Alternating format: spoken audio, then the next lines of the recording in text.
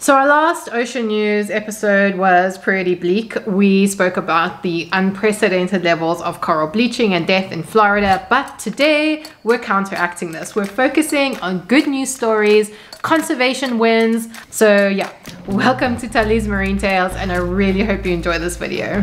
First up, the big Montana Climate Youth Trial, which I'm sure you guys have heard about. Now, at first, this might not necessarily scream ocean conservation. La Montana is like a landlocked state in the middle of Northern America, but I'm sure I don't need to explain to you guys that everything on our planet is linked. And the actions that we take, whether we live next to the ocean or inland, or impacts the ocean in some way or the other, especially when we're talking about big things like climate change, as we saw in our very depressing Florida coral bleaching video.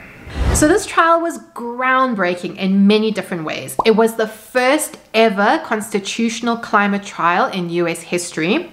The group that took on the state were youths, basically kids under the age of 18. And in what was a really surprising twist, they won. Montana has a pretty unique constitution in that it specifically states that the state and each person shall maintain and improve a clean and healthful environment in Montana for present and future generations. And so the judge ruled in favor of these youths who accused the state of violating their constitutional rights to a clean and healthy environment by still promoting the use of fossil fuels. So Montana's electricity generation is still heavily reliant on coal. And even in their state policy goals, they still aim to like promote and develop gas and oil exploration and use.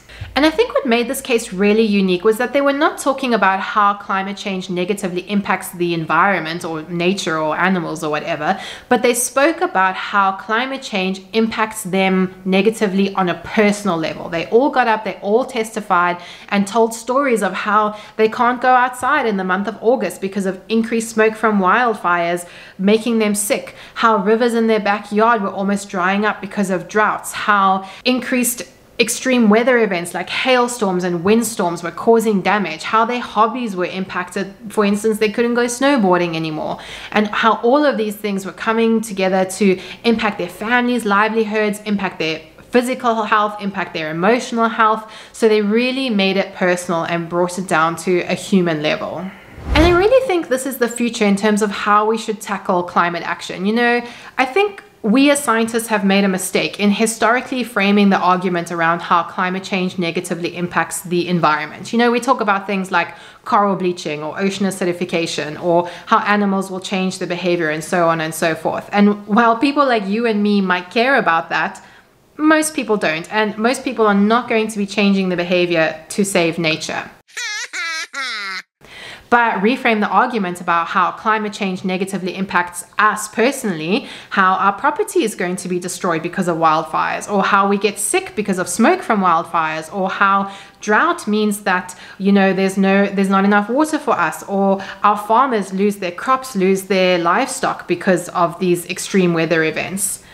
This is when people will start to take notice and I do think there's hope for the future because it's literally kids like this who have grown up their whole lives hearing about climate change. I mean, one of the plaintiffs was saying that he watched the documentary Chasing Ice at the age of four. So, you know, it's these kids who are fed up with our mistakes. They're demanding change. They're suing governments. They're showing up at courthouses, state houses, voting stations, and they are the ones that are speeding up this change.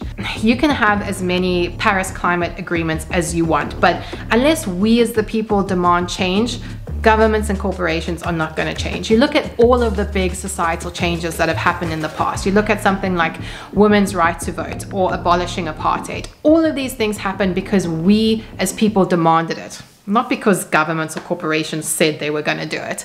So, this is what the climate crisis needs now. And I say a huge kudos to these kids for sticking their hands up, being brave enough to take on the state. Um, they're super encouraging, super inspiring.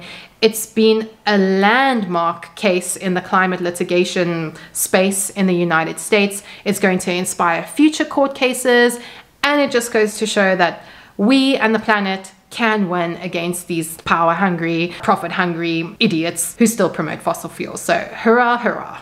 Now, our second story is much more directly related to the ocean and concerns the controversial topic of deep sea mining. Now, there was a lot of flurry and activity around this topic a couple of weeks ago when the International Seabed Authority was hosting discussions on whether industrialized deep sea mining should be allowed or should be banned.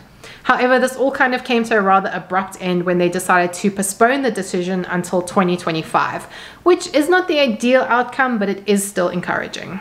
Now, the whole discussion of whether to allow or ban deep sea mining kind of began in 2021 when a tiny Pacific island nation declared that they wanted to start mining a mineral rich underwater ridge. At present, there is no industrial deep sea mining, and with good reason.